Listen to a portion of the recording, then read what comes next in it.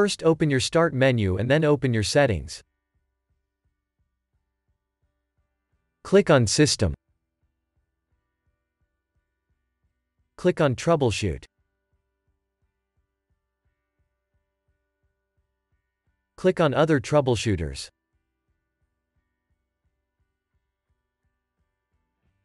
Find the Keyboard section.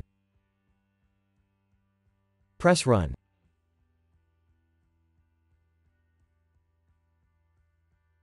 Wait for your audio to be repaired. If that didn't work, open Start and type Device Manager. Open your Device Manager.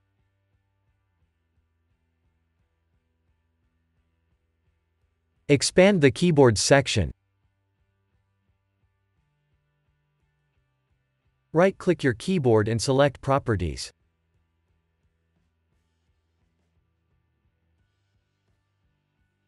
Open the Driver tab. Select Update Driver. Click on Search automatically for updated driver software.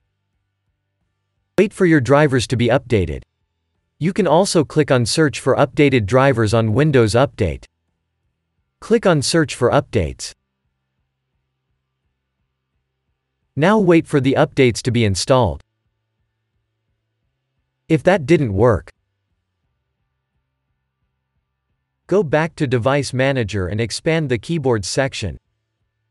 Right-click your keyboard and select Properties. Open the Driver tab.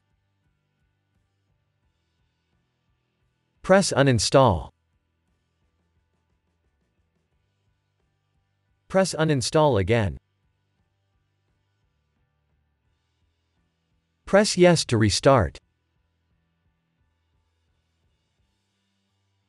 If that didn't work, expand the keyboard section. Right-click your keyboard and select Properties. Open the Driver tab. Click on Update Driver.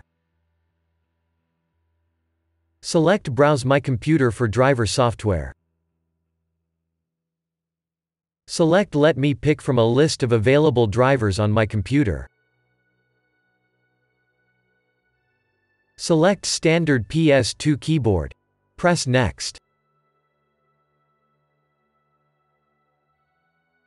Wait for your drivers to be updated.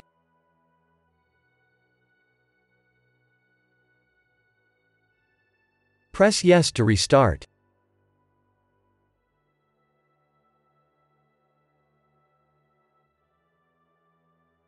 If that didn't work,